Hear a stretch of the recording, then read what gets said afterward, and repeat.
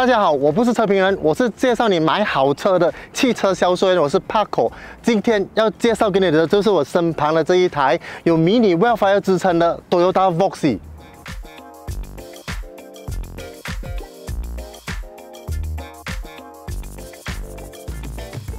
这一台车呢，可能你觉得有一点陌生，或者有时你在路上可能有见过这台车，因为这台车其实没有在本地多大销售，它只会在 Recon 车厂可以找到它。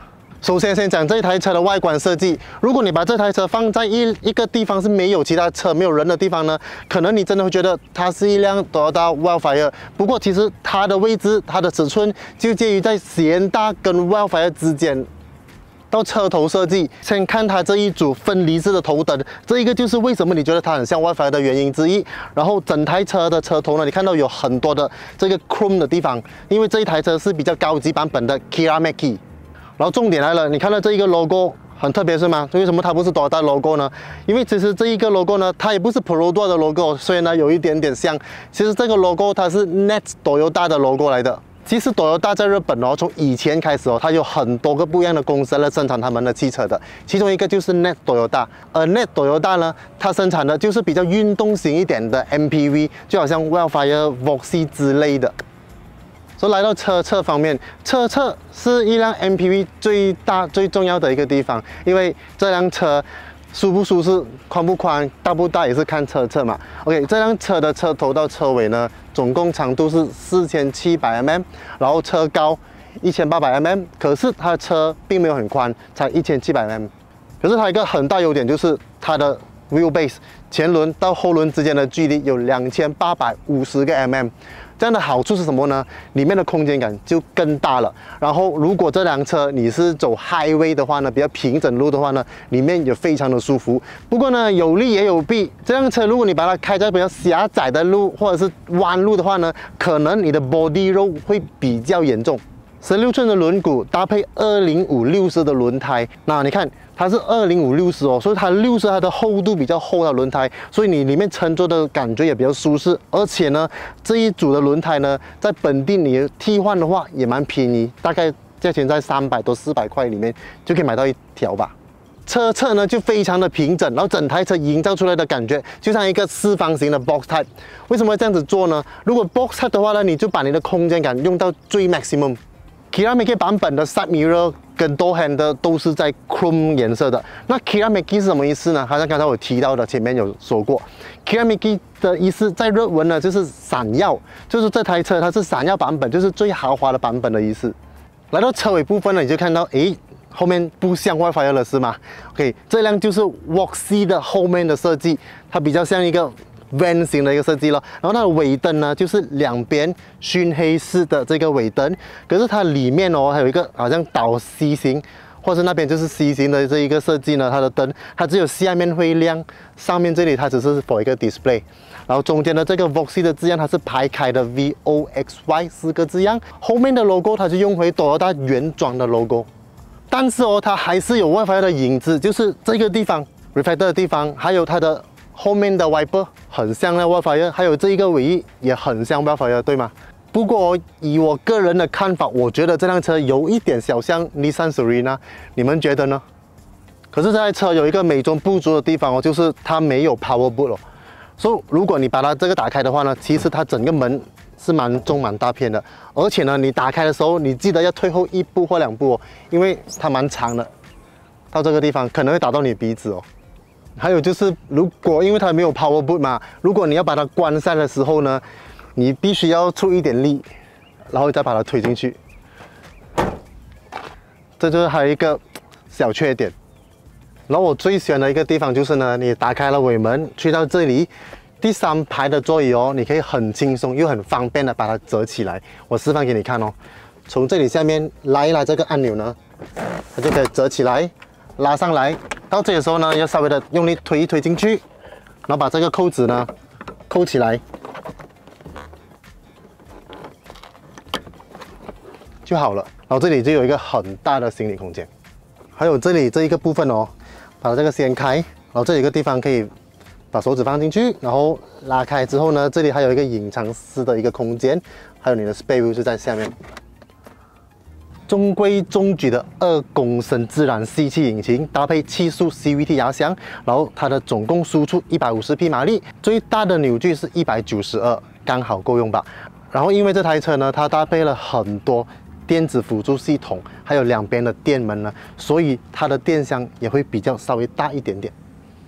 然后进到内饰里面呢，先提一下，因为这台车它是二零一九年的 Voxy，就是第三代的 Voxy，现在其实已经去到第四代的 Voxy 了。里面虽然没有新款的那么美，不过质量也不错。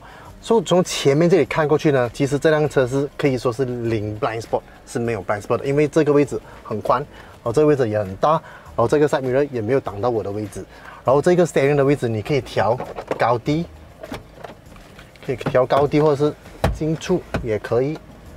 然后这里还有一个很大的一个触屏，是 touch screen 的。然后这里还有一个小的 info screen。这台车它还有所有的那种 safety features，比如说 pre crash 啊，还有是那种 lane departure 的东西，它都有。它也有 auto start stop 的 engine 给你 maximum 的省油。还有就是从前面这里的旁边呢，你可以调开后面的两个电门。拿到中间的这一个 center console 的部分呢，这个圆形的这个设计。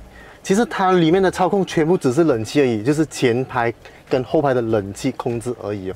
然后到这里就是你的那个牙箱的那个控制你的那个排档杆。然后这里还有一个 Eco Mode，说 Eco Mode 如果你把它按了之后呢，它会把你的引擎调到比较低的那个转速，所以你就可以比较省油一些。然后这比较重要的就是这个椅子的这个 armrest 的部分。想象一下，这辆车你坐姿是比较高的，你这个椅子是整辆车比较坐高的一个位置，对吗？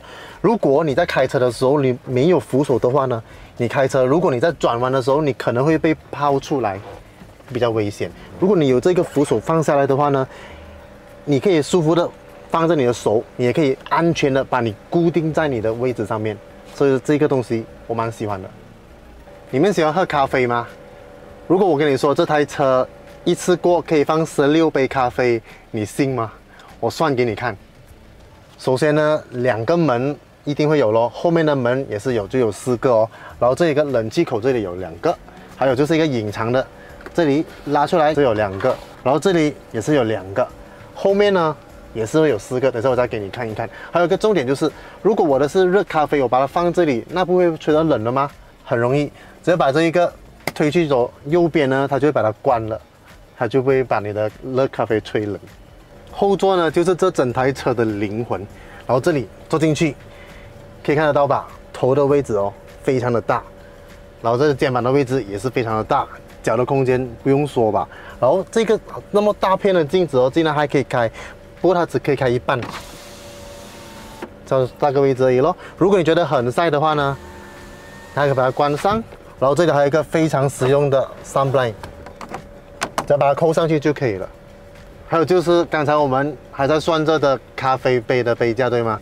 这有一个，中间这有两个，这里也有两个，还有那个门那边，所以总共这里加起来就十四个。